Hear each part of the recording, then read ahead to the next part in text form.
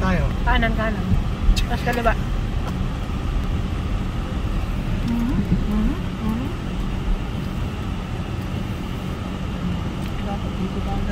Bulacan number one, top, ano yun, top richest provinces in Philippines 2020. Ba? Dito ba? Ayaw mo dyan sa bypass na? Left, left. Pamang invento ka pa ng daan eh. Tinuturo ko sa'yo yung... Hindi imbento tawag doon. Yun eh, maganda yung kalsada. Sorry guys, ama. Talagang ganyan kami ng mister ko. Hindi yan papatalo eh. Naka-video kaya ako. Oh, Oh, eh, ano? ako-comment dyan tamo eh. Marunong ka lang Madam, magmaneho. ikaw na magmaneho. Dr. Pablito Mendoza Senior High School.